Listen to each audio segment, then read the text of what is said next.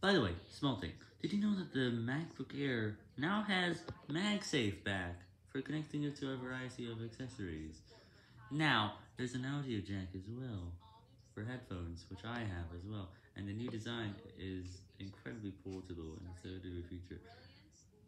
The Liquid Retina display is now coming to the MacBook Air, and with rounded corners on the sides, and wait, there's a notch there as well, great, that's, that's gonna ruin it, just like the MacBook Pro I had about 8 months ago, I think, that's sad.